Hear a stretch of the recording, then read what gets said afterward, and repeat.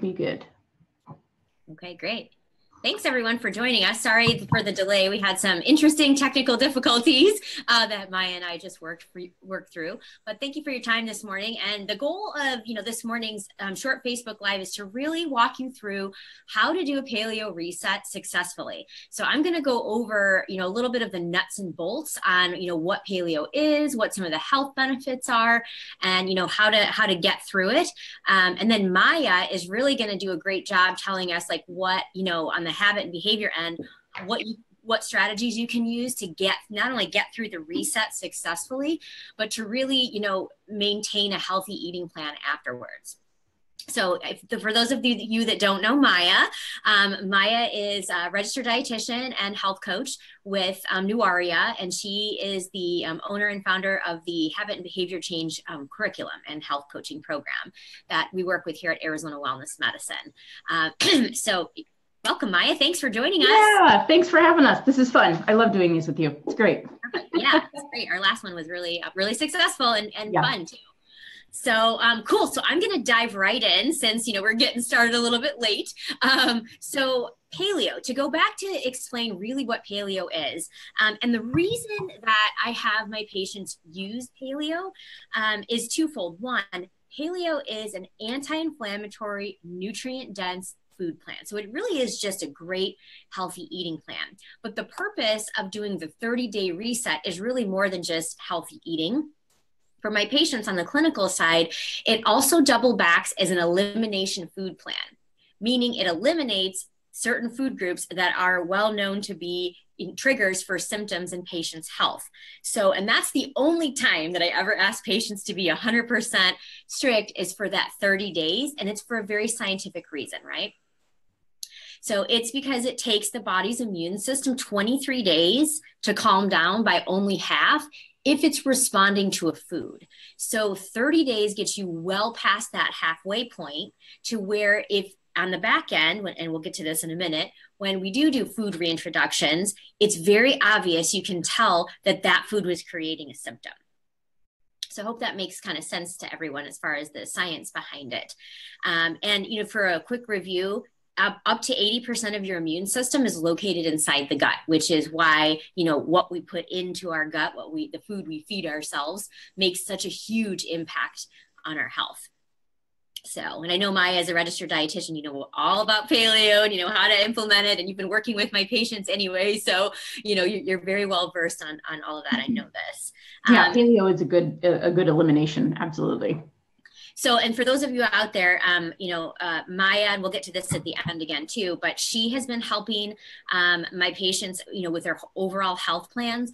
But um, it, if you're struggling, if you haven't done a 30 day paleo reset yet, or you need to redo it, or you, your eating got off track, um, you know, over the holidays or whatever the reasoning is, um, Maya uh, does have health coaching programs, three months, six months, and 12 months to help you get back on track. The three month health coaching program would be perfect to get you through the paleo reset onto the other side to make sure you're maintaining those, those um, healthy habits. Is that pretty correct? Absolutely. Yeah. You mean for the, for going, using the 30 day paleo challenge?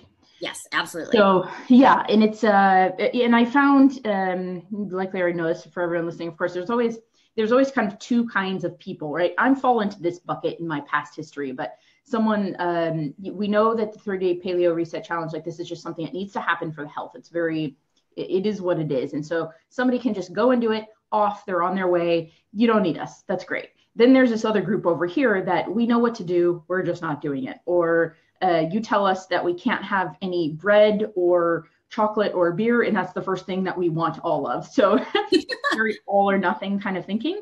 And so it's really this is the category that is um, very important because we we do really need a crossroad at this point because um, there are certain things that have to be done for your health in order to get healthy in order to return back to full and complete health. One of those probably being i need to get some stuff out of my diet but at the same time when we match that with a habit of all or nothing thinking, it can be a little, I don't want to say dangerous. It's going to make the challenge um, uh, something that is bigger than it's than it really is.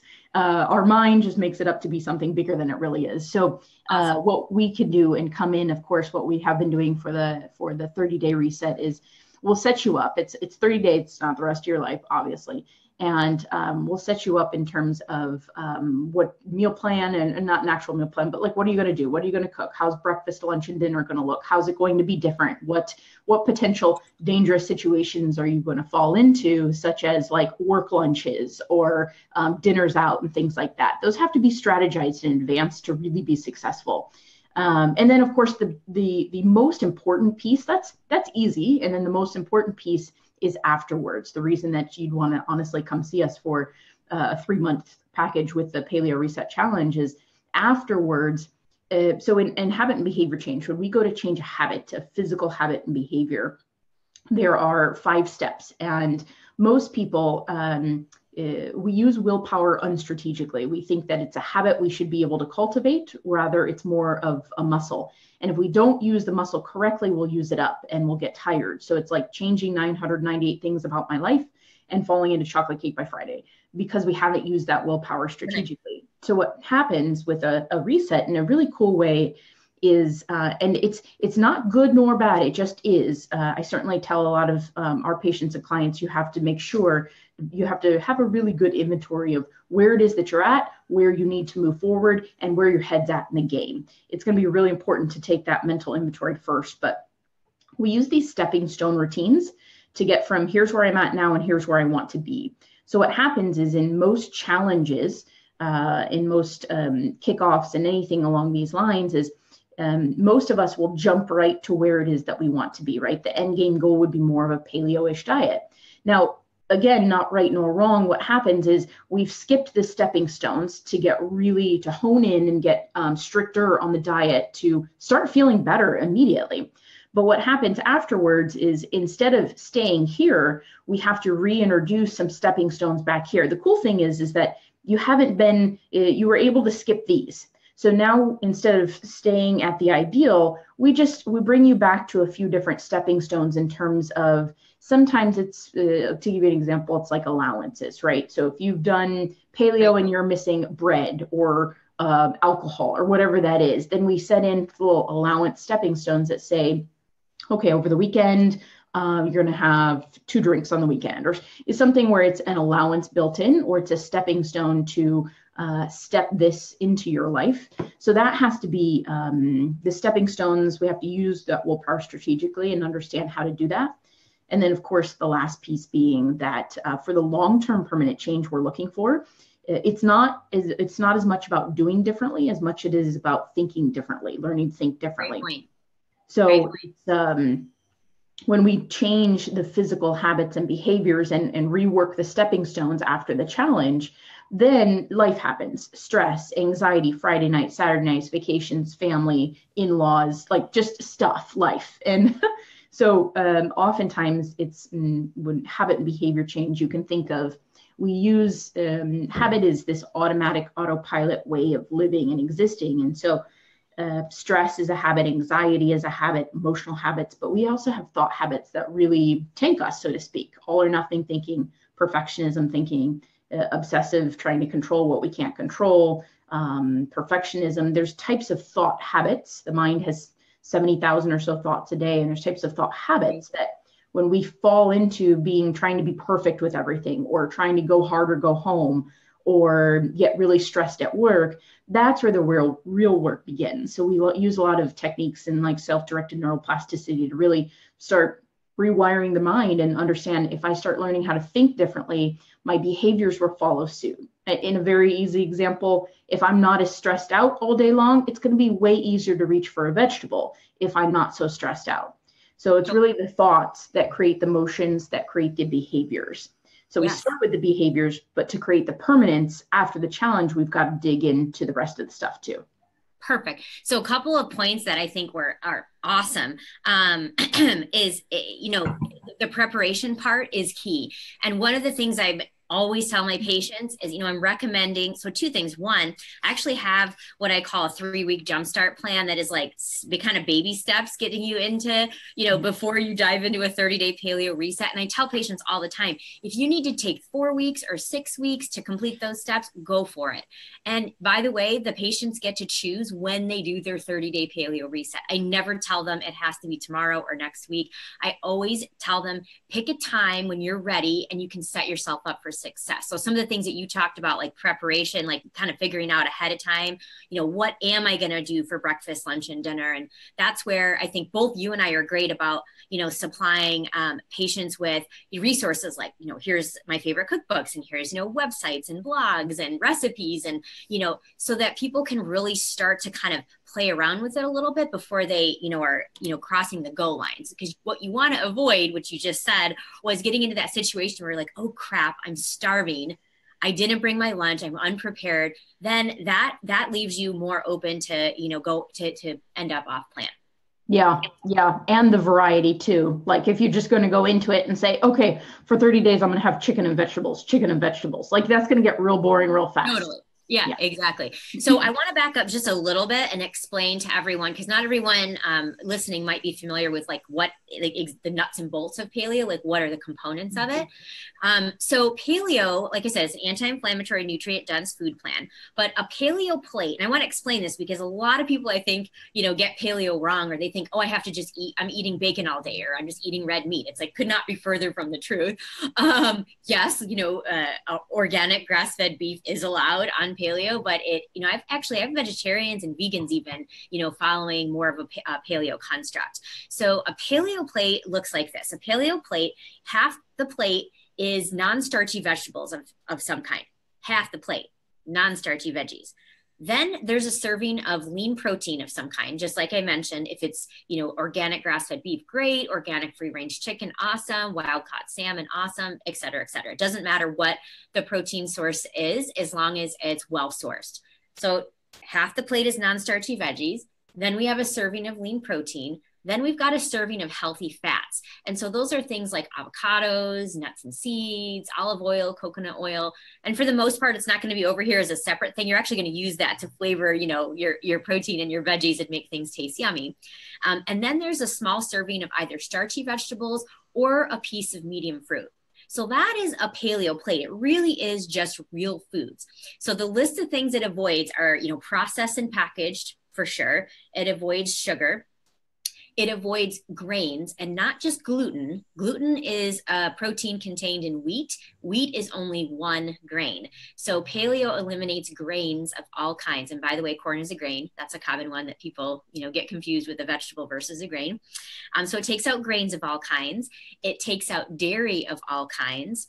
It takes out legumes. And so legumes are the bean family. And by the way, peanuts are a legume. They're the only nut that's actually a legume. All the other nuts are truly nuts and totally paleo. Um, so it takes out grains, it takes out dairy, it takes out legumes, and it takes out soy. Um, and so those are the, the most common triggers for symptoms.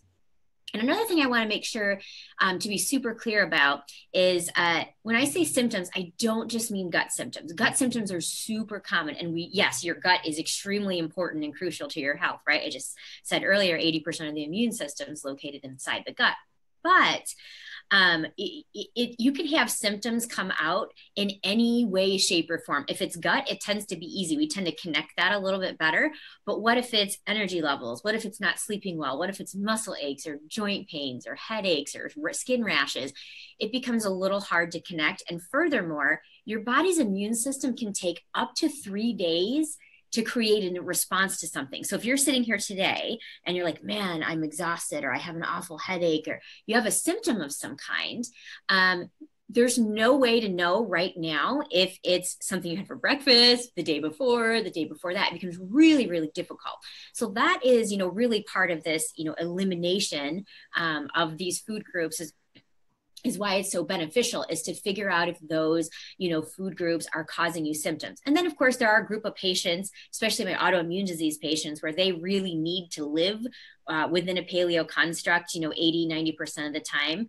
Um, but you know, just like, you know, Maya has kind of you know, beautifully said, uh, it's, it, it, I never ask anyone to be 100% perfect 100% of the time because it's not going to happen. It's actually not healthy. It becomes stressful, right? Maya, who, and who's going to follow that? And you end up in this all or nothing, completely, you know, you know completely. trap. Um, and so after the 30 days, there is, you know, a very targeted way to properly reintroduce, um, you know, foods that you're missing. Um, and it really is, because I remember said it could take up to three days for a symptom to occur. So you're adding in one serving of that food. So let's say you're like, I want to find out if I can have peanut butter. I miss I miss peanut butter. And by the way, you only reintroduce the foods that you're really missing in your diet. So it's not to reintroduce everything you eliminated because by and large, I can tell you I've done this, you know, hundreds of times now um, with patients and uh, their symptom scores, the, the amount of symptoms that they report, they're cut in half or two thirds on average when they follow through on the paleo reset. So people are really feeling great, but everyone, you know, we all have those kind of like one or two things that we're, you know, we really miss but you only reintroduce things that you're gonna that you're gonna want to have in your diet on a regular basis. If it's gonna be part of your 20% off plan, like your, you know, three or so meals a week, you're not gonna need to reintroduce it because it's not gonna be part of your regular diet. So I hope that kind of makes sense to everyone. So let's say you you really are missing peanut butter for example. So you reintroduce it one serving three times a day. So like I'm talking about a little serving, not just a tiny lick of peanut butter, like probably a tablespoon or more. Um, one serving three times a day, and you do it three days in a row, and you track how you feel because, like I said, if it shows up in the gut, we all get that's obvious. But what if it turns out to be like muscle aches or joint pains or energy levels or you don't sleep as well, something more subtle? Um, that's why only one new food three times a day, three days in a row. And if someone has a response, they have a bad, you know, response to something, then um, they stop. You know, you don't have to finish the three days. You just stop eating it right away, and you wait until you're feeling perfectly good, uh, as good as you did before you reintroduce that food to move on to the next one. Um, but you know, your example of alcohol, it's like you're not going to do a, a, you know, three times a day, three days in a row reintroduction. Right. you know, take three days off from work and do nothing but that. But um, because that's ideally in your health plan, it's only going to be an occasional, um, an occasional thing. So Maya, tell us, um, yeah. you know, as far as uh, getting uh, to the reintroduction strategy or at past the reintroductions and to, you know, mm. kind of maintaining within a paleo construct, like what are, um, what are some of the, um, give me a couple of kind of key points that people can, you know, um, uh, employ, kind of start to think about and strategize about during their reset that they can, um, that'll help them be successful beyond the 30 days. Yeah, during the reset or after? Um, I would say after. That they can after. start thinking about during, and yeah, know, so they're successful. They're successful in maintaining eighty percent or more after yeah how to be how to be successful after i mean it's really it's going to be um, the name of the game everyone always thinks that uh, you know when we go into something some kind of a change it's going to be so difficult and require so much time and it's it's not it's not difficult doesn't require a lot of time the only thing that really truly does is that heightened level of awareness on a regular basis uh, most of us when we're in this low grade state of stress as a habit or anxiety as a habit for most of our lives we're so tapped out, tuned out um, to how it is that we actually feel uh, because stress is our normal habitual reaction in life. So the more that we can be aware uh, in every moment in terms of how it is that we're feeling, how the body's feeling, uh, awareness is certainly key for moving forward and creating, um, I mean, healthy habits for a lifetime. And then, uh, really, in, in, when you're aware like that, then you can start to recognize and understand some of the things that have always just thrown you off uh, whether that be the all, all or nothing thinking, perfectionism thinking, um, typically trying to control things in the future that are completely out of your control, producing the stress and anxiety.